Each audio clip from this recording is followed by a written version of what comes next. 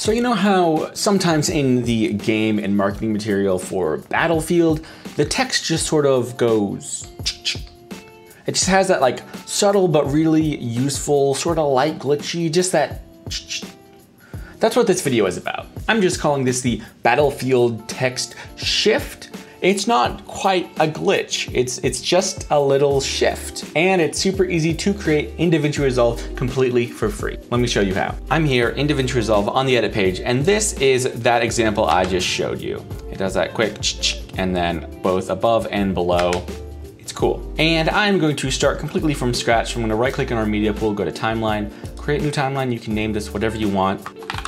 And it's always good to double check. If you uncheck use project settings, you'll have control over the custom format. I'm gonna make sure this is just a standard full HD, 30 frames a second and click OK. And then here we have our blank timeline. And I'm gonna make sure my effects library is open, come down to effects and grab this fusion composition, drag it right to the timeline and that's good. You could also grab the text plus node and start there, but we're gonna end up in the Fusion page anyway, so I'm just starting with this Fusion composition, um, which I'm then going to press this button down here to open up the Fusion page and Fusion page basics as always as well. We have our little node viewer down here, and it does start you with this one media out. Anything we do in Fusion, we're gonna plug into that media out, it'll send it back to the edit page. So we're gonna start just by clicking this button to create a text plus node over here. I'm gonna immediately pipe that into media out so we see it here, and I'm gonna type in this text, just battlefield. I'm gonna pull up size a little bit just so we have plenty to work with. And I, I did this an example. I used a slightly different font. I'll try it with this one here. Um, but one thing I am going to do, because I do like the natural stretched look of the Battlefield font a bit, I'm going to create a transform node. I pulled up this search menu, by the way, by pressing shift space and then typing in transform. Click enter, that adds it into our chain here. And I'm going to pull up aspect just a little bit. So this is actually a little taller make sure it still feels a little natural. That's good. That's what it was. That's what we got.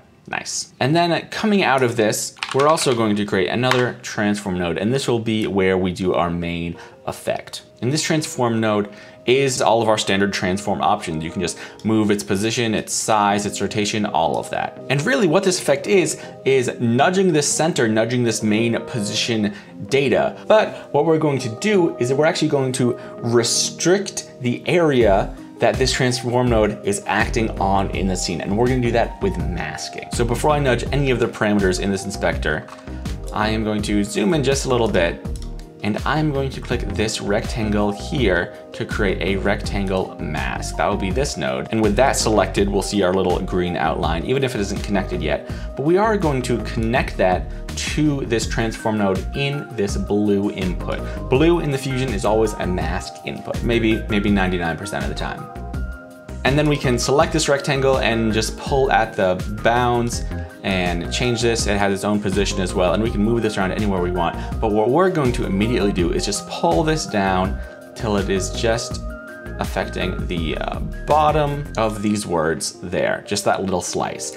And then if we go back to the transform node and shift this center, let's zoom in a little bit more, check it out. We shift the center and it's just that bottom slice that is being moved. We can move this any which way we want it. If you shift the Y position, it'll do some pretty funky things because you can actually bring that down and duplicate this font based on transform. It's interesting how, how it's processing this, but, but it's pretty cool. But we're gonna zero this out again.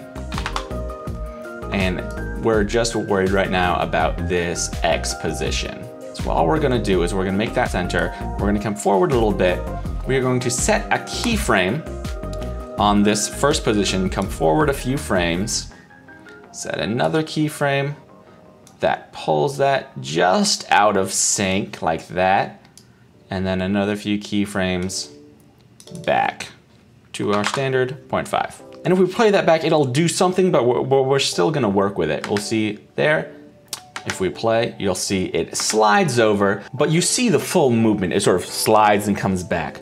So what we're gonna do is in that transform selected, we're gonna open up our spline viewer. And like I've talked about before, in these three dots here, I have show only selected tool selected um, so that if you had multiple things keyframed in your scene and this was on, you have to click on the actual node you want focus on. I think it cleans things up a little bit. in busy scenes. But I have that transform node selected. I'm gonna click displace, and then you see those three nodes. Now, even though we move it forward and then back, you don't see a super standard up and then down, and that is because uh, on the center parameter, it is modifying the X and the Y in one value. So this is a uh, path. It's a little tricky, but all you need to know is that um, you won't super see the move reflected in the spline like you might in other places. But here's the magic. I am going to select these keyframes and click this first little right angle shape down here. And then, hey, instead of a straight line connecting these, we now have these right angle steps. And if we scrub, you'll see what this is doing. It is holding that first value until it reaches that second one, then it's jumping, and then a few frames later, it is jumping back. And that gets us that glitchy motion we really want. Awesome. And that's the heart of the effect. I'm gonna go uh, one more step and show how I did that uh, second shift as well, but I'm gonna walk through that just to show a, a, slightly larger example. So what we are going to do here is actually come forward a little bit, and in the spline viewer, I'm going to select all of these nodes, copy, click on the spline to set another little keyframe there, and then paste those. And you'll see we have a very interesting movement here, but that just means we need to select these two nodes, and click that right click again. It'll hold these right clicks here. So now all this is really doing is it is going to make that motion and then repeat it. And then I'm actually going to take this transform, we are already keyframed with this rectangle, copy and paste. And if you hold this transform and hold shift, if you mouse over this path, you'll see it turns blue and yellow, let go, and it has automatically connected it in there.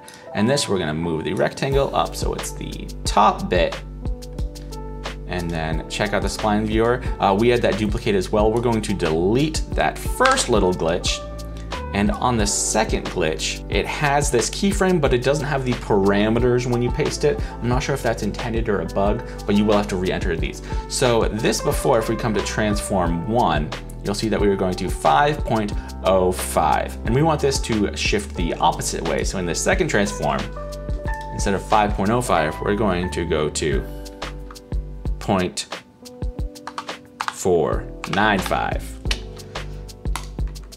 And then here you'll see on that timing, they shift in opposite direction.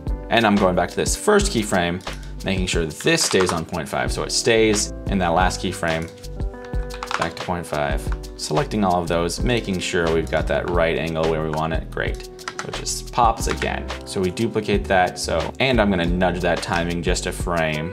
So now we have bottom glitch, top glitch, Cool, and it's as easy as that for a really simple uh, shuttle shift or minor glitch. And while this is a good use case, the important thing to remember is that this functionality of limiting effects based on masking, that is all over the place in Fusion, and it's super powerful. You can have wild effects going on, and the ability to limit where on screen those effects apply, it's really big. So if this method was brand new to you, I urge you to dive in deeper and start experimenting, you never know what you'll come across.